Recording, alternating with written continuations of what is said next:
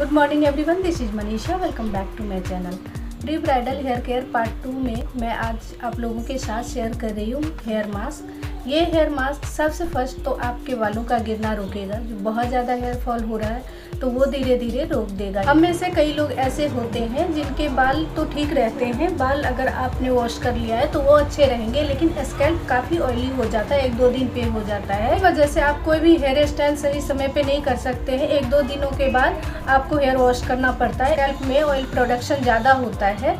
तो अगर आवश्यकता से ज़्यादा कुछ भी हो तो सही नहीं है, अगर ज़्यादा भी हो तो सही नहीं है, बहुत कम हो तो बिल्कुल ड्राई हो जाएँगे तो इससे भी बाल गिरता है तो ज़्यादा या कम जो भी होता है तो उसको ये बैलेंस करता है रेगुलेट करता है। कई लोगों के बाल बहुत ज़्यादा फ्रिजी होते हैं, मेरे बाल भी बहुत फ्रिजी हैं तो उसको फ्रिज फ्री करेगा। कई बार हमारे बाल इतने ज़्यादा मैसी हो जाते हैं, उलझ जाते हैं एक दूसरे में, जब हम वॉश करके आते हैं तो बिल्कुल भी उसको डिटेंगल नहीं कर पाते या सो के उठते हैं दूसरे दिन, तीसरे दिन तो हम उसको आसानी से डिटेंगल नहीं कर पाते हैं। अगर इस तरह से आपके भी हेयर हो जाते हैं, उसे ज़बरदस्ती खींच खींच के सीधा नहीं करना है। इससे भी बहुत बाल टूटते हैं।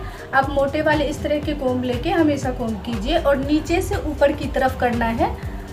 नीचे से ऊपर की तरफ़ करना है इस तरह से। तभी आपके बाल कम टूटेंगे।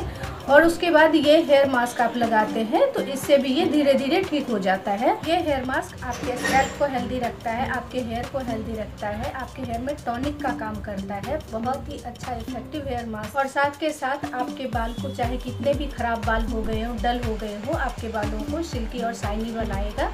तो आज मैं बात कर रही हूँ फ्लैग सीड्स हेयर मास्क की। इसे अलसी के बीज भी कहते हैं। मैं बनाने वाली हूँ अलसी के बीज का हेयर मास्क ये बहुत ही अच्छा हेयर मास्क होता है। इसे आप स्किन पे भी यूज़ कर सकते हैं अप्लाई कर सकते हैं। इसका स्किन केयर में भी बहुत अच्छा रिज़ल्ट है और हेल्थ प्रॉब्लम जो आपकी है तो उसमें भी अलसी के बीज को हम लोग कई तरह से खाने के काम में लाते हैं। आयुर्वेदिक मेडिसिन या आयुर्वेद के तरीके से हम लोग इसकी रेमेडीज़ बनाते हैं। तो बहुत ज़्यादा गुण है इसमें। खाना बिल्कुल आसान है। इसमें किसी भी पाँच दस चीज़ों की ज़रूरत नहीं है। सिर्फ़ एक या दो चीज़ें हमें चाहिए। उसी से चार, पाँच से दस मिनट में बन के तैयार हो जाएगा। मैंने कोशिश की है कि कम से कम इंग्रेडिएंट्स के साथ आपको बना के दिखाऊँ, जिससे आप लोग आसानी से कर सकते हैं। और चीज़ें भी ऐसी हो कि आपके अगल बगल में या कहीं अगल बगल की दुकान है तो उसमें आपको मिल जाए। तो इससे पहले भी मैंने नीम का तेल जो बनाया था, वो भी बहुत ही अच्छा है उसका रिज़ल्ट और उसमें भी आपको बिल्कुल भी खर्च भी नहीं होने वाला है और आपको आसानी से मिल भी जाएगा। इसमें भी वही बात है, बहुत कम खर्च के साथ ये हेयर मास्क आपका बन के तैयार हो जाएगा। तो चलिए मैं दिखाती हूँ आप लोगों को किस तरह से मैंने अलसी के बीज का हेयर मास्क बनाया और उसका एप्लीकेशन भी मैं आप लोगों को दिखाऊँगी। हेयर मास्क बनाने के लिए मैं ले रही हूँ फ्लैक्स सीड यानी कि अलसी के बीज। ये आपको आसानी से किसी भी डिपार्टमेंटल स्टोर या किराने की दुकान में मिल जाएगा। तो इसमें से मैंने आधा कप निकाल लिया है।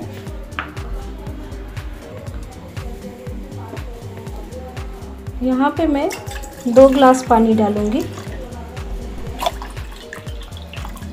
ये मैंने दो ग्लास पानी डाल दिया, इसे गैस ऑन करके चढ़ा दूँगी। गैस को मीडियम हीट पे ही रखना है और जैसे ही पानी गर्म हो जाएगा, उसके बाद मैं इसमें अलसी के बीज डाल दूँगी। पानी गर्म हो गया तो इसमें मैं फ्लैक्स सीड्स डाल देती हूँ। और इसके साथ साथ ही मैं मेथी दाने का पाउडर भी एक चम्मच डाल दूँगी। थोड़ी थोड़ी देर में मैं इसे स्टर कर दूँगी।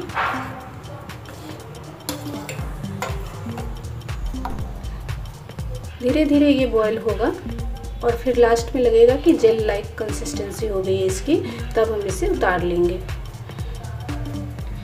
फ्लैक्स सीड्स में अमेजिंग प्रॉपर्टीज़ होती है। ये रिच सोर्स है ओमेगा थ्री फैटी एसिड का।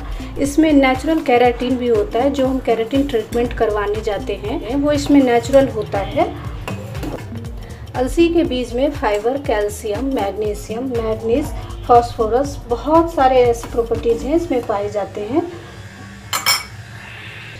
अलसी के बीज को हम कई तरह से खाने के काम में भी लाते हैं। इसे रोस्ट करके पाउडर बना के रख लेते हैं।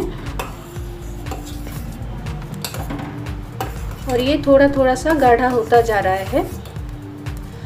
हेयर केयर करते हैं या स्किन केयर करते हैं और उस तरह की कोई रेसिपीज़ बनाते हैं तो उसे मीडियम हीट पे इसलिए बनाते हैं क्योंकि धीरे धीरे उसके जो भी गुण होते हैं ना, वो पानी में चला जाएगा, फिर उसे हम छान लेंगे। जल्दी जल्दी से पकाने में ऐसा होता है कि इसके जितने भी गुण होते हैं, अलसी के बीज के या मेथी के, इस तरह के बहुत सारे हम बनाते हैं रेसिपीज़ तो उसके सारे गुण नहीं आ पाते हैं, इसीलिए हम लोग मीडियम हीट पे इसे बनाते हैं। धीरे धीरे ये जेल फॉर्म में आता जा रहा है, अभी थोड़ी देर और होगा। और सबसे बड़ी बात है कि मेथी के दाने, अलसी के बीज, ये सारी चीज़ें हम लोग आसानी से कहीं भी ग्रोसरी स्टोर से या किराने की दुकान से हम लोग खरीद के ला सकते हैं। से अपने हेयर पे स्किन पे लगा के पूरा बेनिफिट ले सकते हैं। अलसी के बीज का मास्क बना के जब आप अपने बालों पे लगाते हैं तो ये बिल्कुल हेयर टॉनिक का काम करता है। इसमें vitamin B one vitamin E पाया जाता है। बिल्कुल तैयार हो चुका है तो इसे मैं फटाफट से छान लूँगी अगर थोड़ी देर के लिए भी छोड़ूँगी।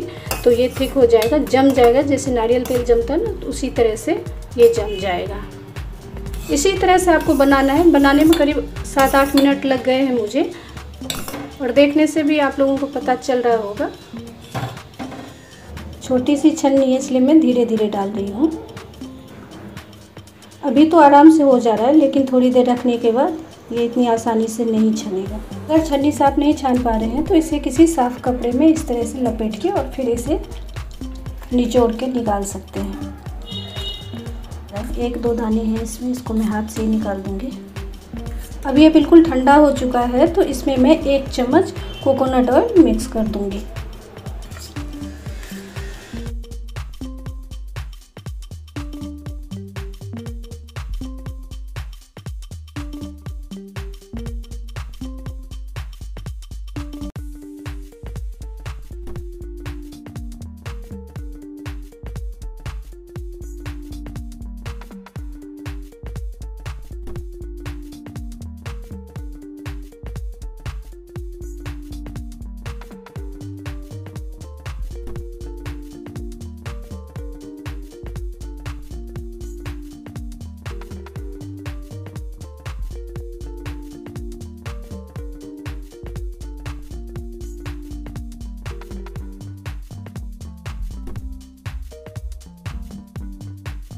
जैसे मैंने हेयर मास्क बनाया, उसको अपने बालों पे अप्लाई किया और 45 से 50 मिनट तक अपने हेयर पे रखा। उसके बाद मैंने वॉश कर दिया। हेयर को वॉश करने के लिए सिर्फ़ मैंने शैम्पू लिया है। शैम्पू इसलिए क्योंकि मैंने उसमें कोकोनट ऑयल भी डाल दिया था। तो जब आप तेल लगा लेते हैं तो उसके बाद शैम्पू लगाना ज़रूरी हो जाता है।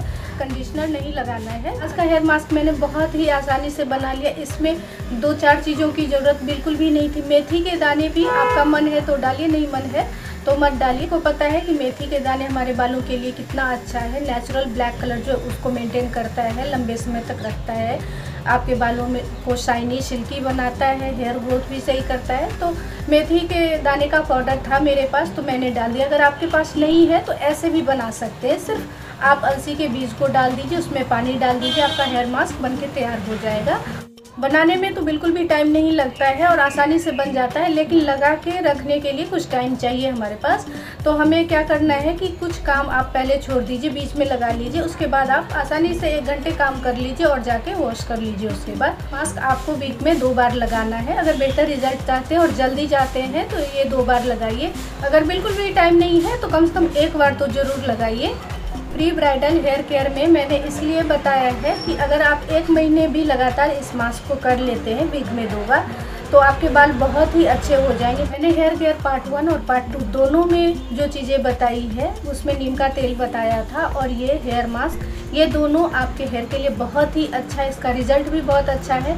एक से डेढ़ महीने अगर आप लगातार कर लेते हैं ऐसे तो आपके बालों में कोई भी प्रॉब्लम नहीं बचेगी और बाल बहुत अच्छे हो जाए हेयर मास्क बन के तैयार होता है तो बिल्कुल जेल फॉर्म में आ जाता है। वो हाथ से अगर आप टच करते हैं, उसी समय आपको लगेगा कि ये लगाने से कितने बाल सिल्की हो जाएँगे। बिल्कुल एलोवेरा जेल के जैसे लगता है। तो जिनके बाल बहुत ज़्यादा थिन और पतले हो गए, स्कैल्प दिखने लगता है, उनके बाल भी घने हो जाते हैं धीरे धीरे उनके बालों में ये सारी समस्याएँ हैं प्रॉब्लम्स हैं तो वो लगाएँगे, उनके बाल धीरे धीरे अच्छे हो जाएँगे जिनके बाल अच्छे भी हैं हेल्दी बाल हैं तो उनमें भी अगर आप लगाते हैं तो वो लंबे समय तक और अच्छा बना रहेगा। बार लगाने से मेरे बालों में भी काफ़ी शाइन आ गई है। मैंने प्री ब्राइडल सीरीज़ में हेयर केयर और स्किन केयर की बहुत ही अच्छी होम रेमेडीज़ आप लोगों के साथ शेयर की है। अगर आप लोगों को वीडियो पसंद आई हो तो प्लीज़ लाइक कीजिएगा सब्सक्राइब कीजिए मेरे चैनल को और ज़्यादा से ज़्यादा शेयर कीजिए। आज के लिए बस इतना ही, बहुत जल्दी मिलते हैं अगले वीडियो में एक नई टॉपिक के साथ। तब तक के लिए बाय